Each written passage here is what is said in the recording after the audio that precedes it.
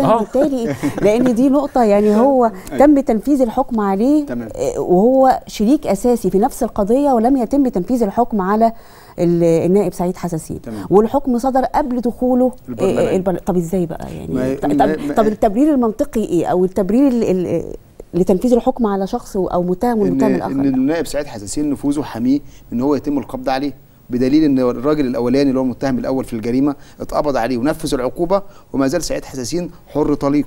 بالرغم إن سعيد حسين هو الفعل الأصلي. الراجل ده كان راجل غلبان كده هو بس راح يعترف على نفسه إن هو يعني صاحب المصنع وإن هو اللي بيديره. ولكن النيابة العامة كانت فتره إن ده إن ده مجرد اعتراف. بس حبسته برضه باعتبار انه اعترف على نفسه. لكن حبسته بالاشتراك مع سعيد حساسين. لكن ليه بقى هو نفذ وسعيد حساسين ده نفذ العقوبة وخرج. نسأل مين بقى؟ فاهم نسأل مين؟ دي نسأل فيها بقى نوجهها بقى للسلطة التنفيذية. والسلطه والس- وسيد رئيس البرلمان ليه سعيد حساسين ما زال حر طليق لحد دلوقتي بالرغم من وجود أحكام عليه وبيشرع لنا وبيشرع لنا قوانين لا ليه كمان حر طريق وإن المتهم الآخر في نفس القضية تم حبسه تم حبسه. عليه يعني ده سؤال آخر أو جزئية آه، أخرى. طيب تفسير ده وانعكاس ده على الصورة الذهنية بقى للبرلمان المصري والسلطة التنفيذية والسلطة التشريعية جوه مصر وبره مصر طبعا ال- الموضوع ده بيصيب يعني بيصيب ناس كتير قوي بالغثيان وحاجة مقززة فعلا.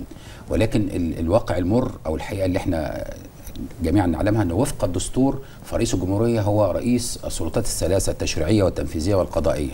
إحنا بنطالب السيد الرئيس يعني الله يكون في عونك الواحد مش عارف يقول له إيه تاني يعني. الله يكون في عونك يعني. كل واحد عنده مشكلة يطالب الرئيس. دي حقيقة مرة فعلا إحنا موجودة ومحدش عارف يحلها.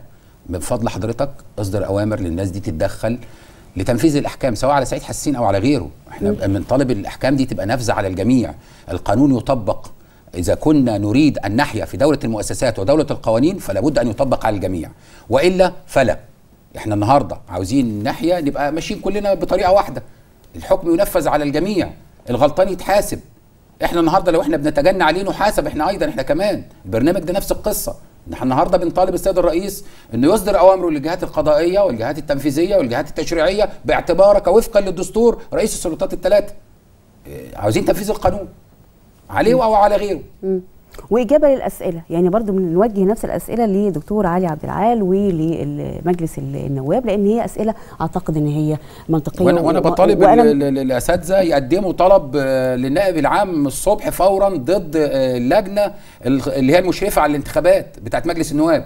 هذا ما الشخص كانت عليه أحكام؟ ليه ما عملتوش فين كده الكلام طيب؟ ده؟ لا عملنا عملنا كل الإجراءات. لا لا لا، لا لا، لازم في. ده في بلاغ للنائب العام ضد اللجنة القضائية اللي كانت مشرفة على الانتخابات من الفترة اللجنه دي اللجنه الق- اللجنة القضائية ب- ب- ب- بنجاح وحصول على الموقعات خلاص دورها دورها. لا لا مفيش حاجة بنجاحه. النهارده أنت حضرتك الأحكام يبدأ- يا يبدأ- صاحبي.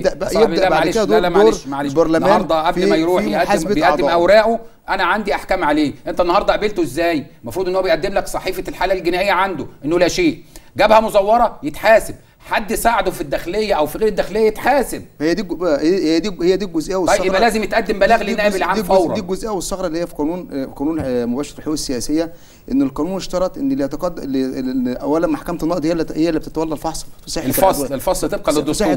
في صحة العضويه تمام. وبالتالي وقاصرتها على فئتين. أول حاجة إنه يكون حد من الحزب السياسي أو يكون المنافس ليه وليس أي حد آخر. وده- عوار تشريعي في الحقيقة محتاج تعديل. وبالتالي فبالتالي وبالتالي هو داخل البرلمان تحت تحت مظلة هذا القانون. لكن دخول البرلمان وعليه الأحكام الجنائية دي دي منع من مباشرته لحقه في البرلمان بس بالإجراءات اللي نص عليها القانون اللي هي رفع الحصانه عنه واتخاذ إجراءات ضده. ودي إحنا بنوجهها للسيد الدكتور نائب آه، رئيس البرلمان إن هو يتولى اتخاذ هذه